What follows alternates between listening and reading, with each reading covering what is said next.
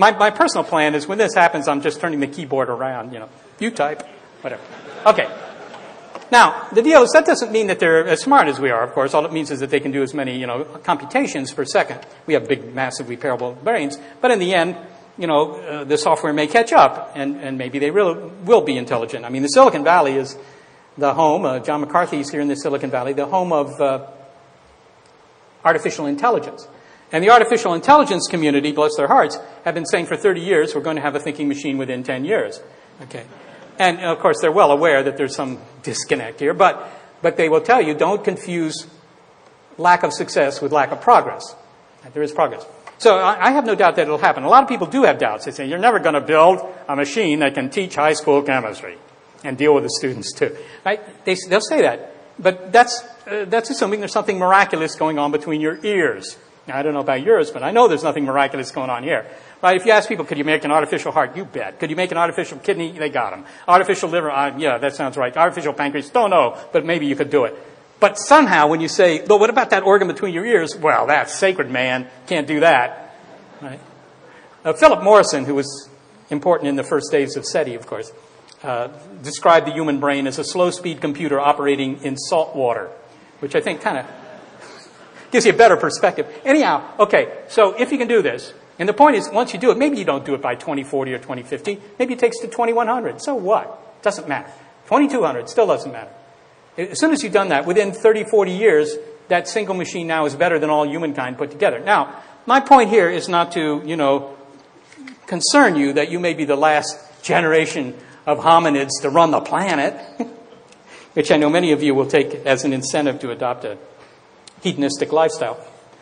I think many of you have already done that. Um, let, let, let, me make that point. I, I, like this guy. I made this graphic up from a bunch of stuff I found on the web. But I, I, I think that it's sort of instructive again to understand that this is a time scale argument. Right? Here's a horse 60 million years ago, right, when they were about the size of a collie dog. Here's a horse today that you can find in, for example, Portola Valley, and it's about the size of a horse. Okay.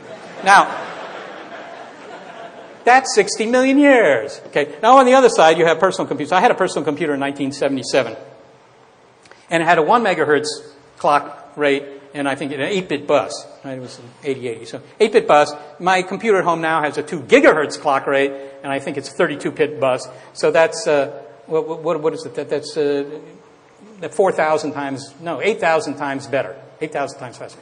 So 8,000 times faster in 30 years. On this side, collie dog to horse in 60 million years. You get the point. Darwin is not only unpredictable, but it's really slow. It's slow. It can make some changes quickly if you're a fruit fly, but if you're talking about intelligence, right, our IQs may not really be any different than they were in the Roman Empire, let alone uh, maybe not even in, in the days of, uh, you know, when we still shared the planet with um, Neanderthals. So that, that's slow. This is fast. So once you develop this in artificial intelligence, assuming you do it, then it, it quickly swamps Darwinian evolution. Okay, so here's the argument. Oh, people say, you know what, that's okay. We're going to put chips in our brains. Of course we're going to do that. I have friends that already have chips in their brains. Here's, and we're going to become like the Borg. We're going to be half human and half machine, right? And we're going to prove on this silly molecule over here that this, you know, that, that we're sort of a, uh, uh, going to keep up with the machines because we're going to make, you know, uh, take advantage of machinery ourselves. Well, undoubtedly we will do this. I don't doubt that we'll do this, and this will be very interesting for you personally but to me, this is like putting a four-cylinder engine, you know, into a Greyhound.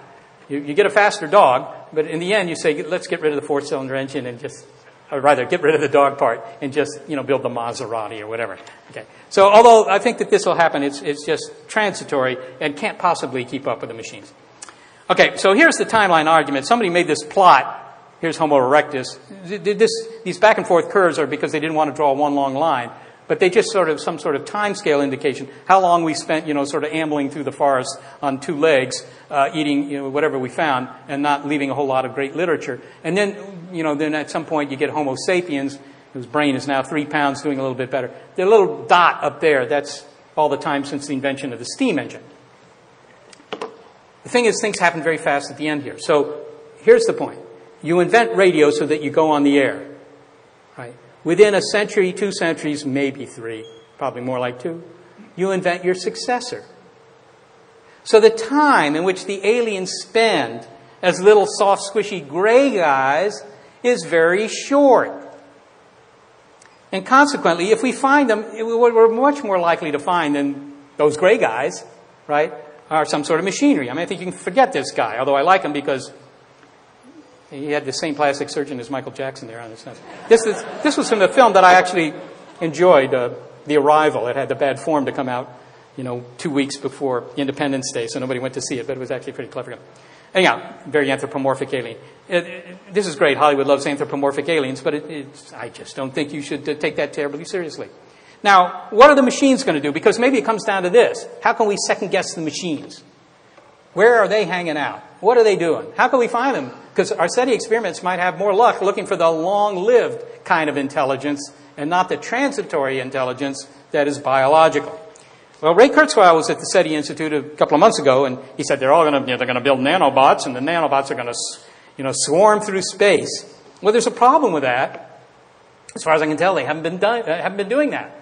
I mean, maybe they have. Maybe that's why space is so empty. Maybe the nanobots have eaten it all. But you know, really, this doesn't make sense to me. If you want uh, to, to maximize intelligence, you really want to keep things compact. Otherwise, you have time of flight problems. You know, you, it takes too long for, for information to get back and forth. This also leads to gray goo. Maybe the aliens are turning everything into gray goo somewhere.